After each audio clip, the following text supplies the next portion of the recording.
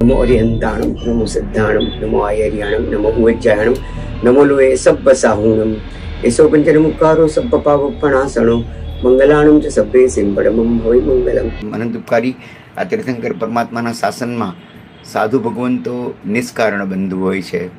મહાન તપસ્વી અજોડ અને બેજોડ એવા આજની શાસનના તપસ્વી રત્નો સાધુ તો સુખિયા ભલા દુખિયા નહીં લવલેશ, અષ્ટકર્મને જીતવા લીઓ સાધુનો વેશ. આજે પન્યાસ પર્વત શ્રી વિતરાગ વલ્લભ વિજયજી મહારાજ સાહેબ જેવો આચાર્ય ભગવાન શ્રી મુક્તિ વલ્લભ સુરેશ્વરજી મહારાજ સાહેબના શિષ્ય રત્ન છે, ગચ્છાધિપતિ શ્રી રાજેન્દ્ર સુરેશ્વરજી મહારાજ સાહેબની જેમના પર અપરંપાર કૃપા છે, એવા પૂજ્ય પન્યાસ પ્રવર શ્રી વિતરાગ વલ્લભ વિજયજી મહારાજ સાહેબ વિશે વાત કરવી છે. મારા સંઘનું સૌભાગ્ય છે કે અત્યારે તેઓ હાલ ચાતુર્માસમાં બિરાજમાન છે. એકસો ને એકોતેર ભાગ્યશાળીઓને સિદ્ધિ તપ કરાવ્યા પછી પોતે આત્મસંતોષ માનીને બેસી ન રહ્યા કે મેં ચલો સિદ્ધિ તપ કરાવ્યો છે એમણે શ્રેણી તપ ઉપાડ્યો જે સિદ્ધિ તપ કરતાં પણ વધારે ડિફિકલ્ટ તપસ્વી પ્યારા તપસ્વી તપની અંદર જે બારીઓમાં તપશ્ચર્યાની આખું લિસ્ટ આવે છે આપણે સાંભળીએ તો આપણા આપણા આપણને ધ્રુજારી છૂટી જાય કે આ આ મહાત્મા પાછા બે બદલે વચ્ચે એકાસના કરે છે. પહેલી બારીમાં એક ઉપવાસ પારણું અને બે ઉપવાસ. એક પારણું એક એકાસું અને પછી બીજી બારીમાં એક બે અને ત્રણ. એક ઉપવાસ એકાસનું બે ઉપવાસ એકાસું ત્રણ ઉપવાસ. એમ ત્રીજી બારીમાં એક બે ત્રણ ચાર. ચોથી બારીમાં એક બે ત્રણ ચાર પાંચ. પાંચમી બારીમાં એક બે ત્રણ ચાર પાંચ છ. છઠ્ઠી બારીમાં એક બે ત્રણ ચાર પાંચ છ સાત. સત્વન જય જયકાર. તપસ્વી પ્યારા. બેસનું કરી શકાય એવું છે છતાં બધી તપસ્યા એમની એકાસનાથી થાય છે. આમનું જીવન જો સાંભળીએ તો વીસ વર્ષના એ નવયુવાન ડાયમંડ બજારમાં બહુ જ સારી કંપનીમાં એ બહુ સારી જોબ ઉપર હતા. પરંતુ ગોરેગામાં એક દીક્ષા હતી તો એમણે કહ્યું કે, હા, હું પુસ્તકોનું વેચાણ કરીશ, પણ મને સામાયિક વગેરેનું નહીં કહેવાનું. આ મને સામાયિક કરવી ગમતી નથી. અને એ વખતે ત્રણ મહાત્માઓની દીક્ષા હતી. બહુ જ અદ્ભુત માહોલ હતો. અને એ માહોલની અંદર એમણે જોયું, ખાલી દીક્ષાનું રજોહરણ ગ્રહણ કરતા છે પૂજ્ય ચૈત્ય વલ્લભ વિજય મહારાજ સાહેબ આદિ. અને બીજે દિવસે ઓફિસમાંથી રાજીનામું લાવી આપીને એમણે પોતાનું જીવન આચાર્ય ભગવત મુક્તિલો મહારાજ સાહેબને સમર્પિત કરી દીધું કે મને દીક્ષા લેવી છે, મારે ભણવું છે. આગલા ભાવની કોઈક આરાધના અને સાધના હોય તપશ્ચર્યાનું એમનાથી એક આઇમ્બેલ નહોતું થતું, પણ તેતાલીસ ઓળી સુધી પહોંચ્યા. અને ત્યારબાદ એમણે માસક્ષમણ કર્યું. માત્ર ચાર પાંચ દિવસની અંદર આત્માના શાસન પ્રત્યેની એમની જે લોયલ્ટી છે, એમના પર ગુરુની એટલી કૃપા છે કે એ જે પ્રમાણે વ્યાખ્યાનોની અદ્ભુત રસાળ શૈલીમાં પરમાત્માના શાસનના જે પદાર્થો પીરસે છે, ખંભાતમાં ચાલીસ વર્ષથી કેટલાક પ્રશ્નો હતા સંઘના. Due with due respect to all ગુરુ ભગવાન ઘણા લોકોએ ઘણી મહેનત કરી હતી, પણ કાળ પાક્યો નહોતો. પણ પૂછ્યો વિતરાગ વલ્લભ મહારાજ સાહેબે એ વખતે બધાને એક કરીને સાથે સાથ સંઘોને ભેગા કર્યા. ચાર સંઘોની તો ચૈત્યપરી પાર્ટી એક સાથે થઈ. અને અદ્ભુત માહોલ સંઘમાં એટલું બધું મંગળ અને કલ્યાણનું વાતાવરણ, આજે પણ ખંભાતના સંઘના લોકો પૂજ્ય ગુરુ ભગવાનને યાદ કરે છે. સુરેન્દ્રનગરમાં અભૂતપૂર્વ ચાતુર્માસ થયું. સૌથી વધારે તો ત્યાં કેટલા વર્ષોથી રીડેવલપમેન્ટ વગેરેના ઇસ્યુઝને કારણે કેટલીક દુકાનોના બધા એવા ઇસ્યુ હતા. ગુરુ ભગવંતે પોતાની બુદ્ધિ અને દેવગુરુની કૃપાથી ત્યાં સંઘને કલ્પનામાં ન આવે એટલી મોટી સાધારણની આવક બહુ સારી મોટી અમાઉન્ટની કરાવી આપી. હિંમતનગર ચાતુર્માસમાં હતા અને ખબર પડી કે આચાર્ય ભગવાન કચ્છાધિપતિ શ્રી જય સરજી મહારાજ સાહેબનો દેહ વિલય આ સૃષ્ટિ પર તેઓ કાળધર્મ પામ્યા છે. આપ માનશો નહીં? એકાસનું કરીને સાંજે સાડા ચાર કલાકે ગુરુદેવની રજા લઈને એમણે વિહાર ચાલુ કર્યો. રણછોડપુરા સાંજે આવ્યા. અને નોન સ્ટોપ સોળ કલાક ચાલીને સવારે આઠ ત્રીસ કલાકે સત્યોતેર કિલોમીટરનો વિહાર કર્યો.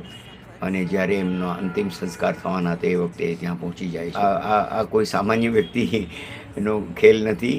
નોન સ્ટોપ ચાલ્યા કરવું દર કલાકે પાંચ પાંચ કિલોમીટર અને સોળ કલાક સુધી ચાલવું અને મોઢે પર એકાશનું પ્યારા, તપસ્વી મારા, શાસન સિતારા. ખાઈ પીને નહીં, પણ ચાલે એટલે તરસ લાગે આટલી બધી આખી રાત ચાલવું.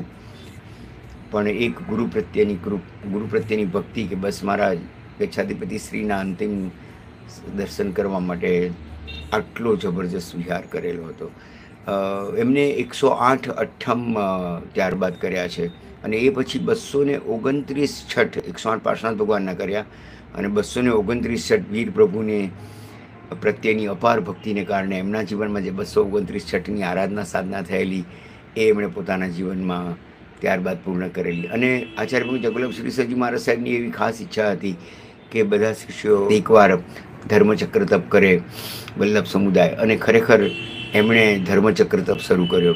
પછી દેવનગરમાં હતા ને એક વખત ત્યાં ભક્તિ યોગાચાર્ય પધારવાના હતા. તો આવા મહાપુરુષ પધારે તો ખાલી હાથે કેવી રીતે એમને જવા દેવાય? એમની પાસે કંઈક ને કંઈક પચકાણું તો લેવું જોઈએ તો કોઈ અત્તરપારણું વગેરે કર્યું નહોતું. વિચાર, રાત્રે ખાલી વિચાર આવ્યો અને સવારે એમણે સિદ્ધિ તપની શરૂઆત કરી. આખા સંઘને સિદ્ધિ તપ ત્યાં પણ કરાવ્યો અને આ ગુરુદેવના સ્વમુખે સિદ્ધિ તપના પચકાણ લઈને એમને અભૂતપૂર્વ સિદ્ધિ તપ ત્યારે પણ પૂર્ણ કર્યો. બધા પોતા શાસનના કાર્યો વ્યાખ્યાની જવાબદારી, સંઘને સાચવવાની જવાબદારી એ બધી જ એમની ચાલુ હતી અને એમ છતાં એમણે પોતાના જીવનની અંદર બહુ જ અદ્ભુત તપસ્યા કરી.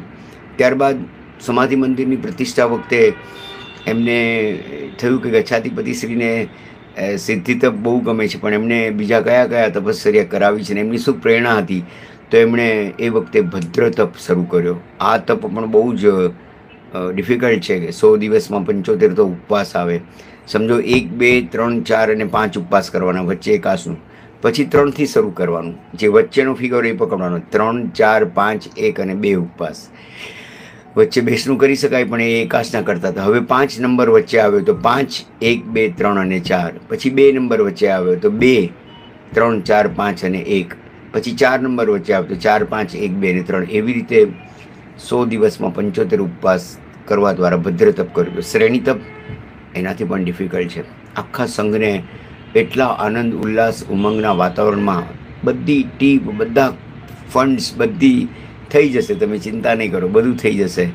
અને કાંદિવલી શ્રી શાંતિના ઝાલાવાડ જૈન સંઘનું સૌભાગ્ય છે કે ખરેખર એમના આવવાથી એમને બહુ જ સંઘને આરાધના અને માર્ગમાં એટલા જોડ્યા છે. ખરેખર અમારા ગુરુદેવ મુક્તિલ અમારા સર કહેતા હતા કે મારું રતન તમને સોંપ્યું છે. શાસનના ખરેખર એક અદ્ભુત રતન છે. અને એમણે એમના જીવનની અંદર જે આરાધના અને સાધના કરી છે, એનું મૂળ થઈ શકે એવું નથી.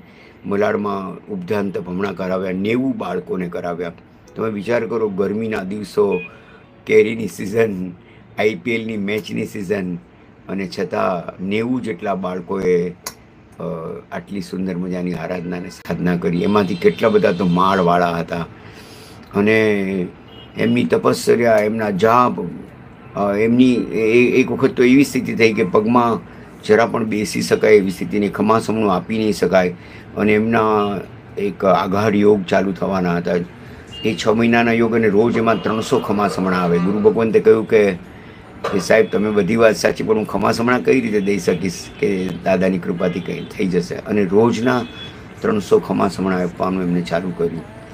ખરેખર એક વર્ષમાં એકસો ને છપ્પન ઉપવાસ, એક વર્ષની અંદર એવી રીતે એમને એકસો ત્રીસ દિવસના, હા, એકસો ત્રીસ દિવસમાં એક્યાસી ઉપવાસ વગેરે જે એમની તપશ્ચર્યા જો સાંભળીએ, ધર્મચક્ર સિદ્ધિ તપ ભદ્ર તપ શ્રેણી તપ એવી કોઈ તપસ્યા માસક ક્ષમણ એકસો આઠ અઠ્ઠમ મેં હમણાં કહ્યું એમ, બસો ઓગણત્રીસ છઠ તપસ્યાનો ધોધ આવ્યો છે. આવા ગુરુ ભગવંતો પાછી શાસનની પ્રભાવના આટલી બધી કરે છે. અને આખા સંઘને એક રસ કરીને બધાને એમ થાય કે આ ગુરુ ભગવંત મારા માટે જ બોલે છે અને મને જ મારા માટે જ આ પ્રેરણારૂપ બન્યા છે એ એ એમની એક બહુ જ મોટી વિશેષતા છે ખરેખર પ્રમોદ ભાવમાં મોદ કરીને ગુણીના ગુણ જે ગાવે, દોષ દફનને ગુણવપનના બેવડા ફળ નિપજાવે. એ તત્વવાણીને તત્વ શિરોમણી પરમાત્મા સમજાવે. કરણ, કરાવણ ને અનુમોદન સરીખા ફળ નિપજાવે. આવો. એમની સ્વાસ્થ્યની સુખાકારી માટે આપણે બધા પ્રભુને પ્રાર્થના કરીએ અને એમની, એમનું આ શ્રેણીત ગોરેગાંવ જવાહરનગરમાં પૂજ્ય કચ્છાધિપતિ શ્રી રાજેન્દ્ર સુરી મહારાજ, મહારાજા અને પૂજ્ય આચાર્ય ભગવાન શ્રી મુક્તિવલ્લભ મહારાજ એમના ગુરુદેવ, એમની નિશ્રામાં એ કે છે, બસ મારે કોઈ ફંક્શન કરવું નથી, કોઈને ભેગા નથી કરવા. બસ મારે મારા ગુરુના હાથે પારણું કરવું છે. આટલા નિસ્પૃહી આવા ગુરુ ભગવાન. કેટલા દિવસ સુધી તો અમારા સંઘમાં કોઈને ખ્યાલ નહોતો. કે આ મહાત્માને આ શ્રેણી તરફ ચાલી રહ્યો છે. પણ પછી બધા બહુ પૂછવા માંડે કે સાહેબ, કેમ ઓરવા માટે પદાર્થ નથી? ત્યારે ન છૂટકે એમણે આ જાહેરાત કરવી પડી છે. લાખ લાખ ધન્યવાદો છો કોટી કોટી વંદન આવા ગુરુદેવને. જીનાગના વિરુદ્ધ કંઈ પણ પ્રવૃત્તિ ના થઈ હોય તો અંધકરણપૂર્વક નામ ઈચ્છા મિલુક્રમ